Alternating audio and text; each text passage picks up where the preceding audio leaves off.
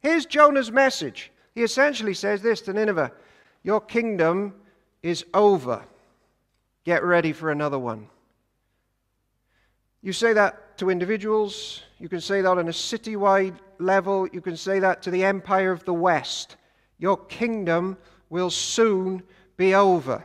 You are soon to enter a world that never ends. Your mini kingdom is over. Don't live for that one. Are you ready for the world to come? That's his message. That's our message. In this world to come, there's another king. So it can't be you anymore.